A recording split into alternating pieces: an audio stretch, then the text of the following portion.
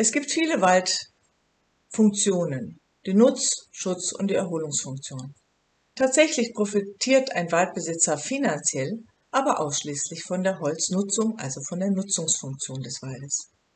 Über 90 Prozent seiner Einnahmen muss er daraus erzielen, während die anderen Funktionen, die der Wald bereitstellt, den Waldbesitzer meist finanziell eher belasten.